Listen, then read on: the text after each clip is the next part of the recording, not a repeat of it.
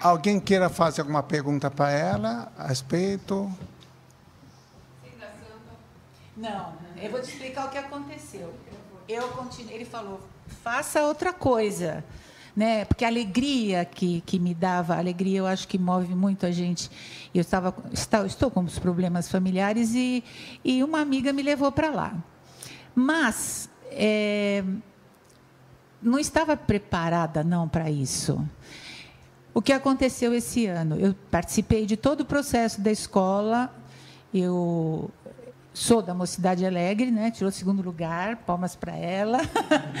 então eu cheguei na véspera e ele tinha dito para mim: não vá, troca por outra atividade que você é, se sinta bem, mas não vá. Eu fui. Eu fui para a quadra, eu pulei, eu fiquei rouca, eu fiz tudo que não podia. E aí, quando chegou na véspera do desfile, no Sambódromo, eu que participei de todo o processo, durante o ano inteiro na escola, eu fiquei com a minha fantasia em casa e não fui, fui para o hospital. E eu tive uma pneumonia, acho que dessa. E dessa pneumonia causou um derrame na pleura, que eu tive que é, tirar cirurgicamente. Nossa, é, eu tinha. Enquanto eu estava passando por tudo isso, ah, eu, com a fantasia ali na véspera, ele não podia ir, não fui. Aí eu, eu entendi o que ele estava me dizendo.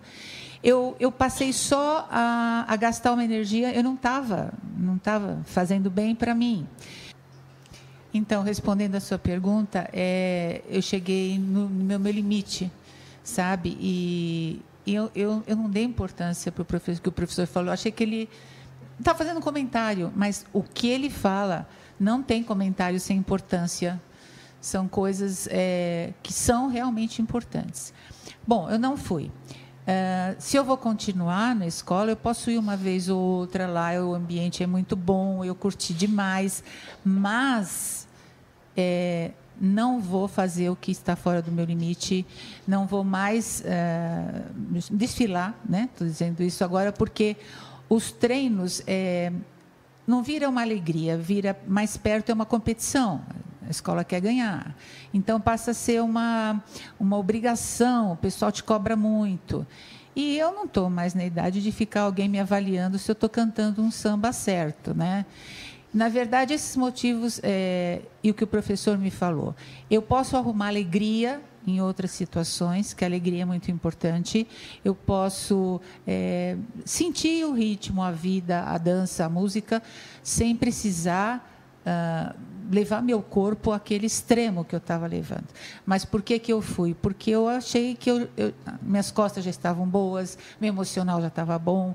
O professor me deixou tão bem para a minha idade que é, ele fala que não cura então, não sei o que, que falta para curar, porque eu estava assim, posso dizer, naquela época, totalmente uh, curada. Eu sei que tinha problemas.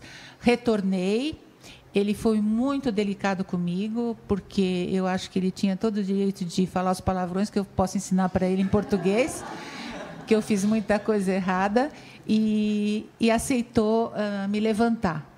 E eu realmente estou aqui hoje para dizer isso para vocês, outra vez. O perigo mora quando a gente se sente bem então, não descuidar, treinar sempre. E uh, a minha filha, que eu, eu, eu trouxe para cá, que é a Flávia, ela agora ela é minha mestra também, porque quando ela vê que eu tô uh, de algum jeito, ela fala: mãe, lembra disso, mãe, olha o que o professor falou. Então, eu acho importante, como ela me ajuda, é, nós todos é, passarmos uns para os outros as experiências e dar aquele toque. Olha, você está caindo no mesmo erro, faz isso.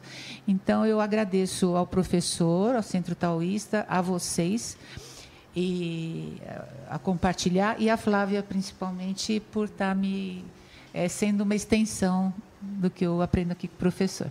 Obrigada, professor.